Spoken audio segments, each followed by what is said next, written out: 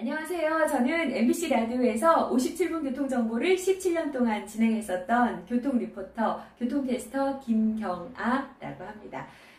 어, 제 목소리가 기억나는 분이 계실지 모르겠어요. 워낙 한 가지 프로그램을 오랫동안 진행을 해서 지나가다가 한 번쯤, 버스에서 한 번쯤 제 목소리를 들어보신 적이 있을 거라는 생각이 듭니다.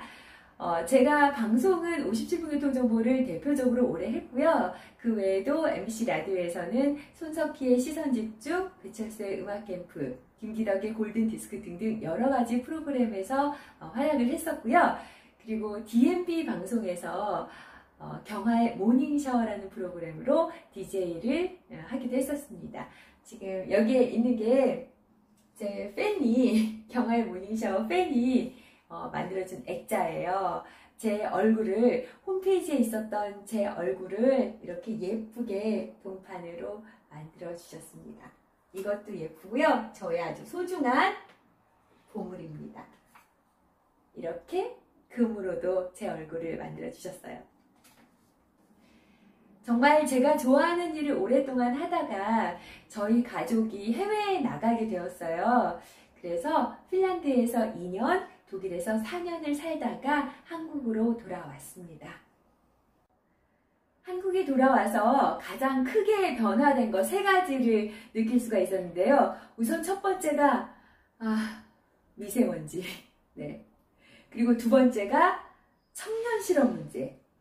그리고 세 번째가 바로 평생 교육. 음, 평생 교육 프로그램이 많아졌다라는 생각이 들었습니다. 그래서 저도 어, 새롭게 한국에서의 생활을 시작하고 싶어서 저희 아파트 게시판에 경력 단절 여성을 위한 국비 지원 프로그램 공고를 보고 지원을 하게 되었어요. 여성 세일센터에서 하는 프로그램이었고요. 정말 기대하는 마음으로 가서 직업 상담사를 만나서 상담을 하고 그날 원서를 써서 내고 왔습니다. 그런데 제가 그때 서류에서 탈락을 했어요. 음. 네, 서류에서 탈락했습니다. 아, 그래서 제가 전화로 물어봤죠. 혹시 제가 왜 떨어졌습니까? 혹시 어, 나이 때문인가요? 제가 나이가 좀 됩니다.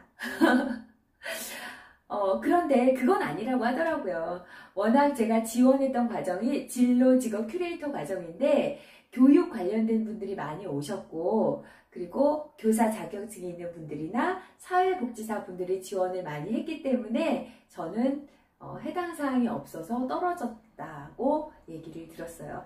아, 제가 학교에서 강의도 많이 했고 교육에도 관심이 많은데 어쨌든 표면적으로 제가 보여드릴 수 있는 건 없었고 저는 자격증도 하나도 없었기 때문에 떨어졌습니다.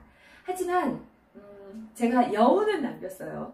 혹시 뽑힌 사람들 중에 상황이 생겨서 못하게 되는 사람이 생기면, 결혼이 생기면, 그때 저를 다시 뽑아주시면 기쁜 마음으로 가겠습니다. 마음이, 음, 굉장히 우울했어요. 아, 이제 나는 교통 리포터 김경아, 강사 김경아, 혹은 아나운서 김경아, 이 수식어들을 다 빼면 아무것도 아닌가? 아, 그냥 경력 단절 여성, 그냥 그것뿐이라는 생각이 들었습니다. 그래서 고민, 고민, 그래서 생각을 하다가 유튜버가 되면 어떨까? 라는 생각이 들었어요. 그래서 제가 지금 이 자리에 있습니다. 어, 첫 녹화를 하느라 지금 좀 쑥스럽고요. 오랜만에 카메라 앞에 있어서 제 시선이 어떤지도 모르겠고요. 어, 또 우울한 얘기로 시작을 하려니까 어, 이 방송을 혹시 보실 분들에게 어떤 기분이 들지 모르겠지만 제가 경력 단절 여성으로 새롭게 일어나는 모습, 어떻게 새로운 일을 시작하는지 그 모습을 보여드리고 싶어요. 그 모습을 유튜브에 담고 싶었습니다. 제가 유튜버가 되려고 생각을 해보니까, 아, 저는 유튜브에 대해서 1도 모릅니다. 아무것도 몰라요. 어떻게 유튜브 채널을 만드는 건지, 업로드를 하는 건지, 도대체 썸네일은 뭔지 하나도 아는 것이 없습니다. 그리고 채널 이름을 만들어야 되는데, 아, 채널 이름부터 어떻게 해야 되나? 제 이름이 경아잖아요. 그리고 하필 제 상황이 경력단절 아줌마. 아, 너무 상황이 딱 제 이름하고 맞는 거예요. 그런데 그렇다고 이렇게 우울하게만 있을 순 없잖아요.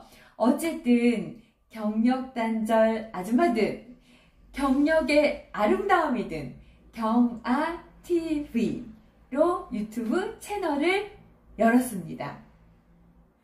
저는 사람을 만나는 걸 좋아하거든요. 사람들하고 대화를 나누는 걸 좋아하고 제가 방송을 하면서 야외 촬영, 인터뷰, 취재를 많이 다녔거든요. 그때마다 느꼈던 건 우리의 삶이 바로 사람이 고 책이다. 그 사람 안에 모든 게 담겨 있다라는 생각이 들었어요.